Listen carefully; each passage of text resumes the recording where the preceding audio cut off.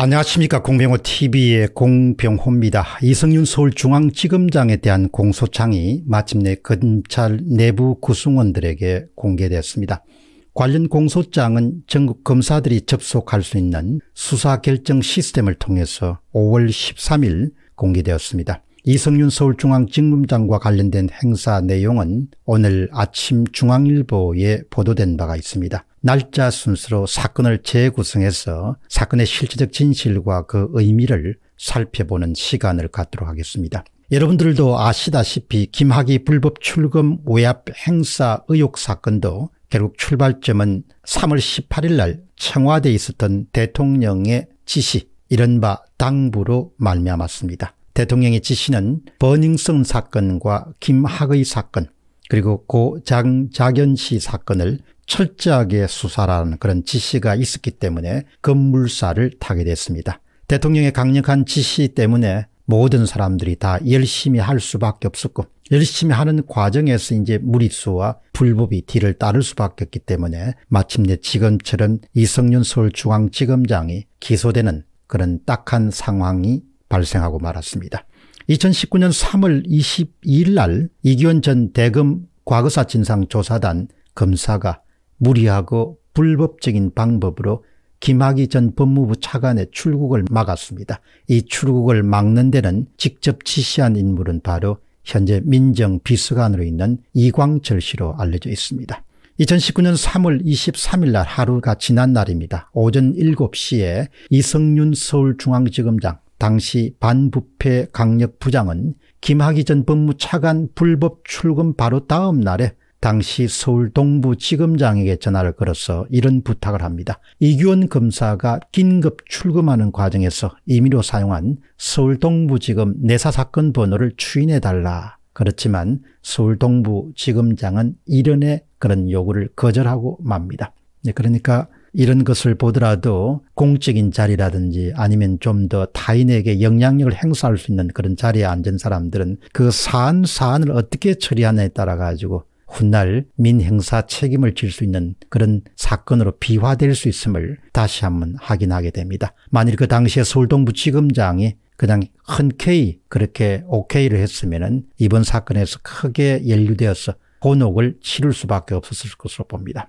같은 날 대검 조직범죄과장에게 김학의에 대한 긴급 출금의 적법성을 검토하라면서 보고서를 작성하도록 지시하는 듯 불법 출금 사건을 수습하는 데 이성윤 서울중앙지검장이 적극적으로 관여한 사실이 바로 공소장에게 직시되어 있습니다. 그리고 2019년 6월 19일 날 수원지검 안양지청은 이규원 검찰 과거사 진상조사단 검사의 범죄 사실을 적시한 과거사 진상조사단 파견 검사의 비위 혐의 관련 보고를 검찰 내부 통신망과 문자 메시지를 통해서 반부패 강력부에 보고하게 됩니다. 당시 보고서에는 김학의 전 차관의 출국정보 무단 유출 의혹을 수사하던 가운데서 대검찰청 과거사 진상조사단에 소속돼 있던 이규원 검사가 긴급 출금 승인 용청성 등의 서울 동부지검장의 자격을 도용했고 그리고 허위 사건 번호를 기재한 사실을 찾아냈다. 이런 내용이 담겨 있습니다. 공소장은 이규원 검사의 자격 모용 공문서 작성 등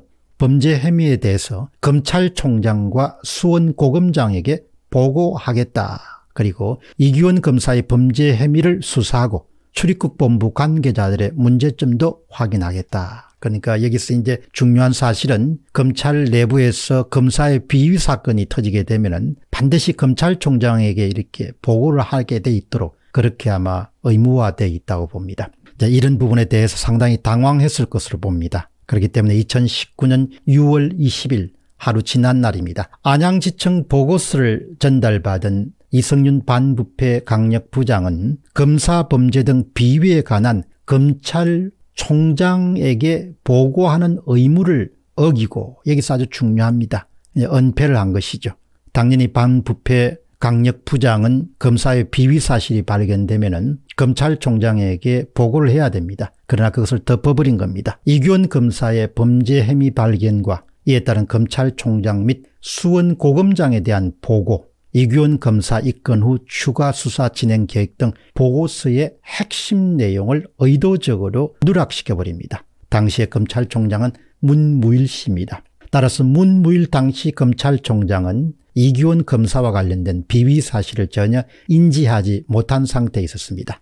같은 날 2019년 6월 20일 날 이규원 검사와 관련된 보고 및 후속 수사를 가로막기로 마음먹은 이성윤 지검장은 적극적인 행동에 나서게 됩니다. 김모 반부패 과장은 이현철 안양지청장에게 그리고 이성윤 서울중앙지검장 당시의 반부패 강력부장은 배용은 안양지청 차장검사에게 이규원 검사와 관련된 수사를 가로막도록 지시하게 됩니다. 이성윤 지검장은 배용원 차장검사에게 전화를 해서 동양인 것으로 알고 있습니다. 다음과 같이 외압을 행사하게 됩니다. 김학의 출금은 법무부와 대검이 이미 협의된 사안이기 때문에 또 그리고 서울동부지검장도 다 알고 있는 내용이다. 이런 부분들을 그렇게 전달하면서 결과적으로 이규원 검사의 범죄 혐의 발견 사실을 검찰총장과 수원 고검장에게 일체 보고하지 못하도록 하는 동시에 관련 수사가 더 이상 진행하지 못하도록 그런 취지의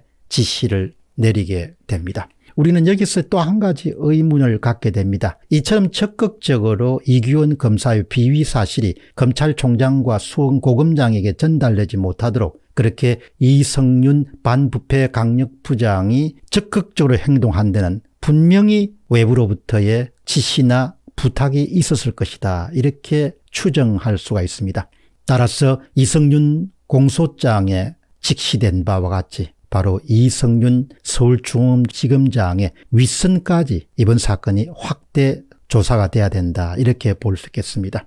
2019년 7월 3일 날 수사 외압 행사 결과 결국은 수사 의뢰 대상자 전원 불구 기소 처분을 하겠다는 취지의 수사 결과 보고서를 작성해서 안양지청의 관계자들이 대검 반부패 강력부에 보고하게 됩니다. 이로써 외압은 성공을 거둔 것처럼 그렇게 보입니다. 이성윤 지검장은 자신의 범죄 혐의 발견 보고 금지 및 수사 중단 지시가 훗날 문제가 될 수 있다는 것을 충분히 인지하고 있었기 때문에 문제가 되지 않도록 안양지청 스스로 수사를 중단한 것처럼 선임 연구관을 통해서 긴급 출국 금지 부분에 대해서는 야간에 급박한 상황에서 관련 서류의 작성 절차가 진행되었고 또 동부지검장에 대한 사후 보고가 된 사실이 확인되어 있어 더 이상의 진행 계획이 없습니다라는 문구를 추가하게 해서 7월 4일 날 다시 보고하도록 했습니다. 그러니까 이성윤 서울중앙지검장은 자신의 외압이라는 것이 분명히 불법적인 것을 충분히 인지하고 있었기 때문에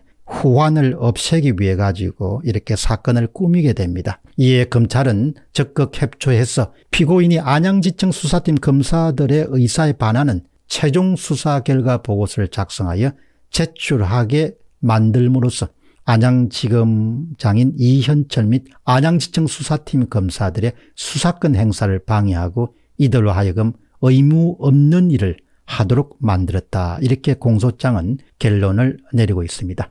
검찰은 공소장에서 이규원 검사와 수사 중단의 요구의 최종 윗선을 청와대 민정수석실로 지목하고 있습니다. 따라서 이 사건이 단순히 이규원 검사와 이성윤 지검장의 기소에 그치지 않을 것임을 시사하고 있습니다. 결국 출발점이 2019년 3월 18일 날 대통령의 김학의 사건, 버닝성 사건, 고 장자견 사건들에 대한 철저한 수사 지시로부터 시작되었음을 염두에 두면 이 사건이 대통령의 하명을 받들어서 관철될 수 있도록 선이건 악이건 간에 직접 혹은 간접으로 연루된 사람들이 제법 있을 것으로 추측됩니다. 다음 사건에는 이번 이성윤 공소장에 직시된 이성윤 서울중앙지검장의 위선에 대한 부분을 정리해서 방송하도록 그렇게 하겠습니다. 공병호 TV의 공병호였습니다. 감사합니다.